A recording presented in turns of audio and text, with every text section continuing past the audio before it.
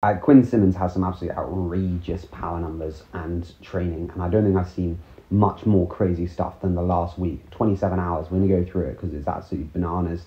Um, this video is also kind of like why doesn't Quinn Simmons do better, but I'm going to cover that at the end because I think there's some interesting things to think about. Anyway, we're just going to go through is kind of a selection of random stuff. Uh, we're going to start. Uh, we'll just start on this one. Um, so this is some VO2, and I think this is actually the biggest difference between pros and not pros is the repeatability. It's probably easier if I go through this on workout uh, on the laps. So you can see, so he's doing three minute efforts, 490, 490, 490, 490, 500 ish. So there's one, two, three, four, five, five efforts, which five by three at that power is pretty tough, especially with only three minute rest. Half an hour to soft tap. 196 watts is obviously like really easy, like really, really easy, like 120 watts, 130 watts for most people probably. Then he does two minutes at about the same power, but you can see some of the, the rests are a bit harder, like 230 watts. Um, again, these are actually like, if you look at them, they're 300 watt recoveries, they're actually not even that easy. Um, so yeah, that's pretty wild. And again, here you can see like the watts aren't always zero, but 531 for the last one. Then he has another 36 minutes of noodling, and then there's one minute on, one minute off. Um, kind of maybe zone two in between, but it's pretty impressive, especially this one. I think if, if you look at some of these, like he's not riding that easy in between, like 300 watts in between. But yeah, it's pretty crazy this workout. And it's just the number of intensity, like the amount of volume he's doing of intensity is crazy like how many efforts he's doing. And this is, I think, is the big difference is being able to do it. Even just the first set uh, is really tough. Then the second set and then the last set as well. Like it is really, really impressive. Um, next up is uh, like a, just a group ride, but you can see it's a seven-hour group ride. This is like a chaining effort here. You can see 400 normals for 37 minutes, so really, really impressive. 23 minutes here again. 412 average for 12 for 23 minutes is pretty good, but this last bit um, was really, really strong, 470 watts. Altitude's not crazy, but it's not insignificant. It is over 1500 meters. Um, then it's like more just um, through and off, 295 normalized. Again, you can see pretty strong.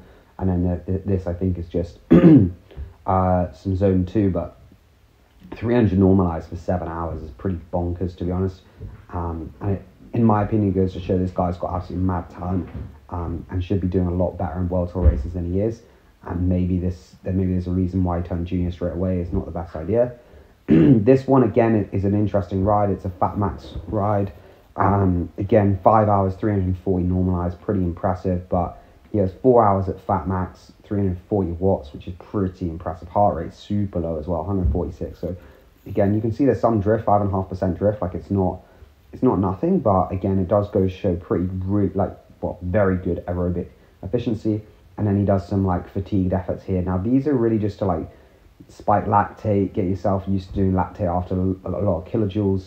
Um, this is like 12 minutes, uh, 430 watt normalized. These actually look pretty tough to be fair. Um, these look like, yeah, one minute on, two minute off. So they're just kind of like, I guess, yeah, just fatigue resistant stuff. But yeah, it, it's very impressive, these numbers. Like they're really, really high. I don't know how much he weighs, maybe 72, I saw, maybe 76.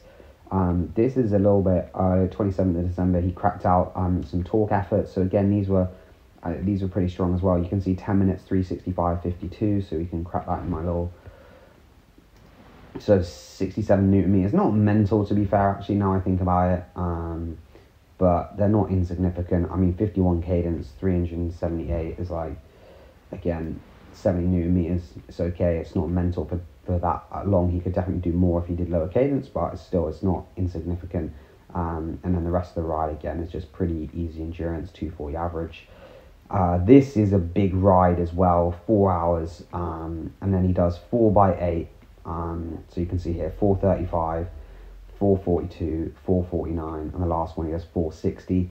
Uh, and again, 337. So again, Fat Max for like two hours. So very impressive ride um, especially with two minutes recovery, doing like 460 or whatever he was doing for this last one is really, really impressive.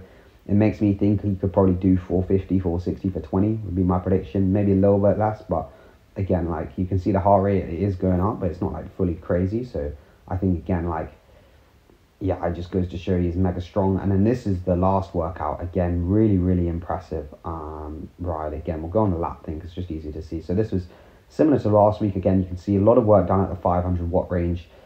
5 minutes 500, 2 minutes 260, 500, 500, 500. So it's pretty impressive. That's one, two, three, three by five at 500, 40 minutes off, and then one, two, three, four minute, four by three at um, 500, and then the last one again just some two minute intervals, so at 500, five, and then the last bit 550. So again, I think it's pretty impressive stuff. Again, you can see normalize is very high. Again, like if we just select just this part here, you can see like a 370 normalized. So all in all, it's just pretty crazy. Five minutes, 510 watts. I mean, like that is just that's really going some. Uh, so yeah, I think that's kind of the, the, my main things to learn. Like you can see here, like mid ride did 20 minutes, 400 watts, normalized 450. This is doing intervals. But he's so so so so strong. Um, so what what does this show me? Well, I think I'm what I'm gonna do is get his pro cycling stats up now because I don't think this guy, his watts are what they should be. Like I know he's won Tour Wallonie twenty twenty one, but that's ages ago. Like he turned pro twenty twenty. So, and like I think, you know, I maybe it's hard picking on him. Like he did win the U.S. national champs, but again, I don't think that's that impressive. Like if you look at the people he beat, yeah, they're good. Okay, no, then Tyler Williams, like you know, these people are like Conti, like Brandon McNulty's a big win, but like that's about it. Everyone else is not like crazy, crazy strong. So it's kind of like, well, why is he not doing better? And I don't really know. Like again, this one is impressive. From Drome Classic. If you don't know this, it's like the French version of the of opening weekend in Belgium. Again, impressive, but like it's just. I don't know. I just expected more from him. Again, he won a stage in San Juan. It was really good. It was like a uh, one kilometer attack, but you just expect more to be honest.